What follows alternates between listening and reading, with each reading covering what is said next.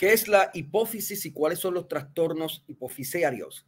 Eh, ¿Cómo afectan al ser humano? Eh, ¿Qué síntomas tienen? ¿Cómo afectan la vida? ¿Qué relación tienen con la sexualidad? Incluso con la salud mental. Para hablar de este tema eh, intenso, tenemos hoy a un destacado endocrinólogo mexicano que nos habla precisamente desde México en conexión directa allá, el doctor Raúl Ibarra Salce. saludos, doctor. Bienvenido a Medicina y Salud Pública. Hola, ¿qué tal Luis? Buenas tardes, saludos a todos. Óigame, doctor, eh, primero, ¿verdad? Para nosotros los legos, este tema, que es la, hipófisis. Sé que es una, eh, que es una parte del el cráneo, está en el cráneo metido, y por lo que leí así por encima, pues eh, controla otras glándulas y controla parte de nuestro comportamiento.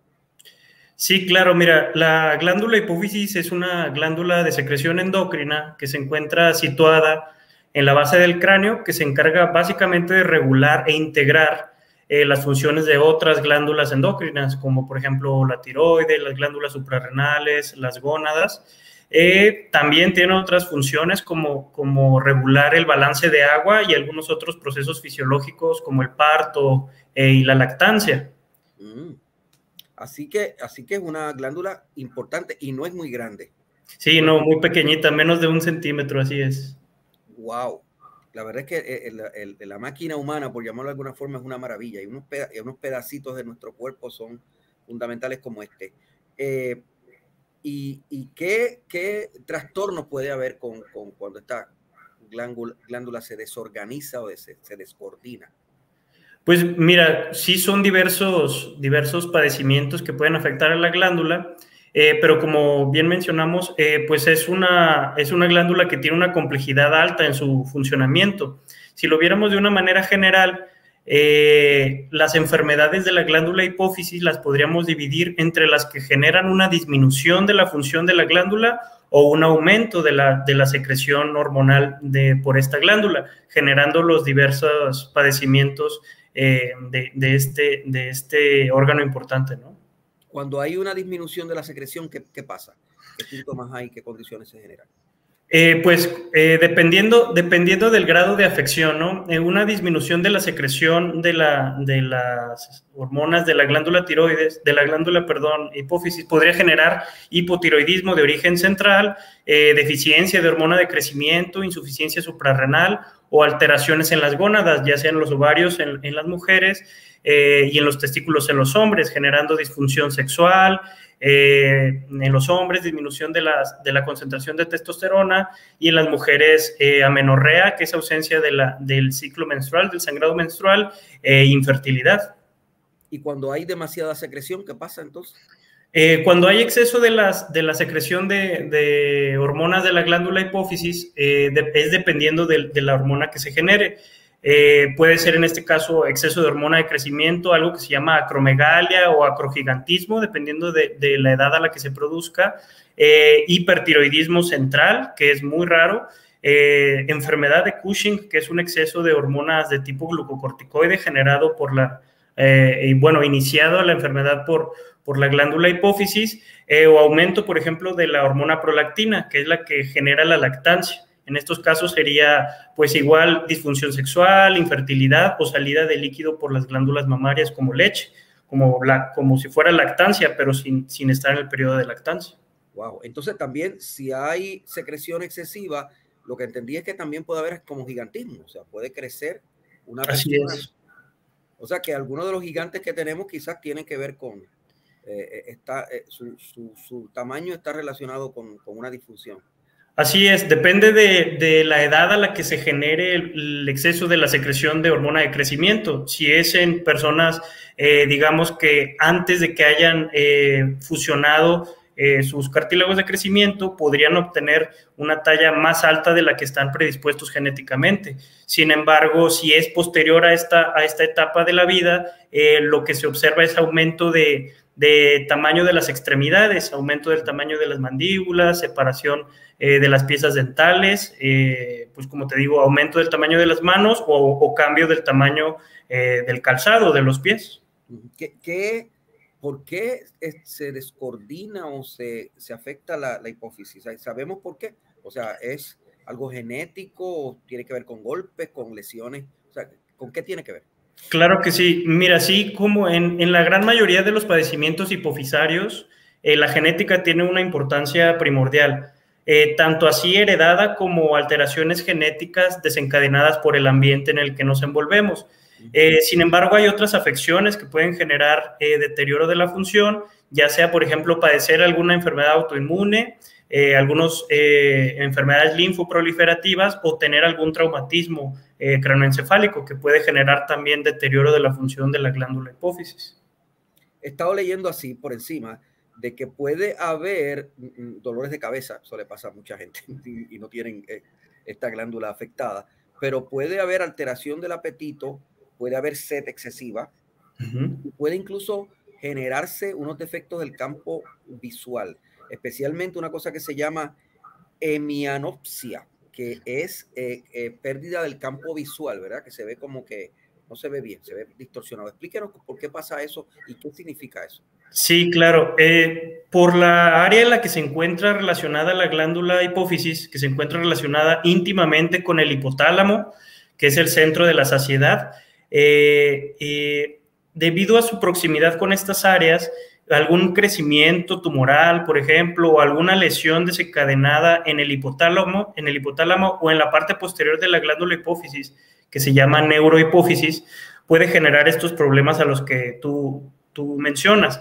Alteraciones en el apetito, o sea, como hiperfagia, o sea, consumir demasiados alimentos e inclusive también perder el apetito. Eh, alteraciones en el equilibrio eh, del agua, debido a que hay una hormona que se produce en el hipotálamo y se secreta en la glándula hipófisis, eh, que regula, digamos, las concentraciones de sodio y el equilibrio de agua en el cuerpo. Eh, e inclusive problemas, como, como te decía, de la visión, debido a que se encuentra muy íntimamente relacionada con, el, con el, eh, los nervios ópticos. Un crecimiento que comprima los nervios óptico, ópticos perdón, puede generar eh, mianopsia bitemporal, que es no ver como las partes periféricas del campo visual o inclusive ceguera como si completa. Una, una, una gríngula, como si fuera un caballo. Sí, así es, no ver la parte lateral de los campos visuales y se puede ver cosas que no están ahí. O sea, puede llegar a tener una lesión eh, que, que, se vean cosas que no están. O sea, como, como ilusiones o así. No, usualmente se ve así como una cortina en la parte periférica del campo visual. Una cortina. pero no, no imágenes que no están ahí eh, claramente definidos. Eh, esto puede a veces producirse debido a tumores, ¿verdad? Así eh, es. Y leí también que eh, entonces se aumenta el tamaño de la silla turca, que también es otra clase. Así es. En forma de silla. Yo no sabía que existía una. Sí, en el esfenoides, que es el. una, especie de silla allá arriba. Sí, es una silla, la silla turca, justamente, que es donde descansa la glándula. Es un, es un eh, vaya, es una hendidura dentro del hueso esfenoides, que es el que contiene, protege y nutre, debido a los vasos sanguíneos que pasan por ahí, a la glándula hipófisis. Entonces, si hay un tumor ahí, eh, ¿qué pasa entonces? Eh, pues al crecer el tamaño de la glándula se empieza a erosionar eh, la silla turca y se podría aumentar de tamaño, algo que se podría ver inclusive con una radiografía lateral del cráneo. He leído también que a veces esa silla parece que está vacía, pero no es que está vacía. Ah, está, inundada, está inundada. Explíquenos eso. Sí, claro. Hay una situación que se llama aracnoidocele celar. Esto tiene diversas causas también pero hay ocasiones en que eh, hay una ausencia, digamos, en los estudios de imagen de la glándula hipófisis, que es que eh, debido a, compresión por líquido, digamos, que es el líquido que, circula dentro del, cráneo, eh, se aplasta la glándula así de manera inferior y se ve como una silla vacía, como si no hubiera tejido ahí hipofisario, sin embargo sí puede haberlo. ¿Se aplasta por qué? ¿Por exceso de líquido o por qué cosa? Es que, lo que pasa es que en la anatomía de la glándula hay algo que se llama diafragma celar, que es como una estructura anatómica que digamos que mantiene ahí la, eh, que esté estable la, la, glándula. Sin embargo, hay ocasiones que hay una deficiencia o una incompetencia del diafragma celar y hace que la presión del líquido cefalorraquídeo empuje la glándula eh, hacia abajo. estos traumas hipoficiarios, ¿cuán comunes son? O sea, ¿cuán, ¿cuán común es gente que tiene este problema? Eh, pues realmente son, son poco frecuentes. Si hablamos de traumatismos craneoencefálicos, te entendí, eh, menos del 10% de los pacientes que tienen traumatismos craneoencefálicos pudieran tener una diabetes insípida o alguna deficiencia hipofisaria eh, generada por traumatismo. Eh, sin embargo, en cuanto a los tumores, sí son relativamente frecuentes, no tanto como enfermedades de alta prevalencia como diabetes o hipertensión, sin embargo, sí, sí hay altos prevalencias en, la, en la población general. ¿Y estos tumores son provocados por algo externo o es? Eh, no, como te comento, la genética tiene mucho que ver. Eh, no sabemos hasta cierto punto si hay una manera de prevenirlos. Eh, sin embargo, la genética, ya sea adquirida o, de, familiares, tienen como que el peso más importante en el desarrollo de estas enfermedades. Hablando de tumores, claro. claro. Ahora, puede haber también una lesión de estas posparto o o por una cirugía, ¿verdad? También. Así es. Sí, digamos que al menos en el punto de cirugías, cuando tenemos algún tumor que sea candidato a cirugía, en ocasiones la resección del tumor puede generar deficiencias en la, en la secreción de algunas hormonas de la glándula hipófisis. Así también en el periodo posparto, por ejemplo, sangrados excesivos pueden generar una disminución de la circulación sanguínea a la glándula y afectarla a posteriori. Eh, generando algo que se llama síndrome de Sheehan, por ejemplo.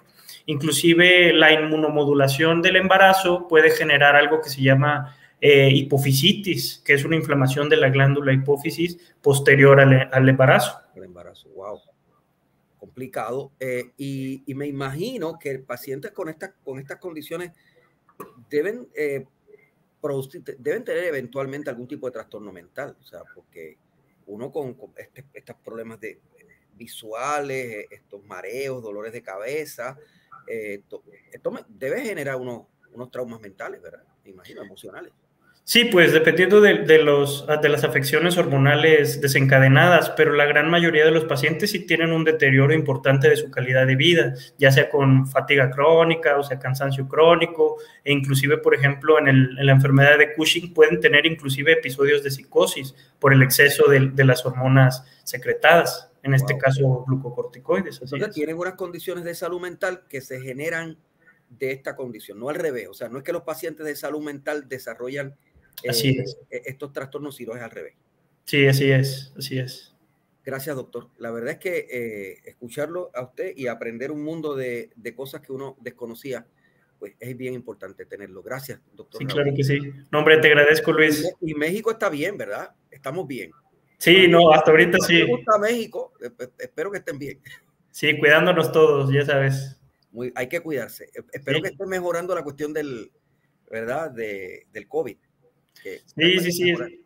Sí, siguiéndonos cuidando para evitar una tercera ola, así es. Nosotros ya tuvimos la tercera, pero ahora estamos bajando. Gracias, doctor. Gracias por estar con nosotros. Gracias, te agradezco. Buena tarde. Que esté bien, que estén bien todos los mexicanos. Gracias. Hasta luego. Doctor Raúl Ibarra Salce, quien es especialista en estos eh, trastornos y es endocrinólogo de un importante hospital nacional en, en México. Esto es MSP, Medicina y Salud Pública. Aquí cubrimos la ciencia porque la ciencia es noticia.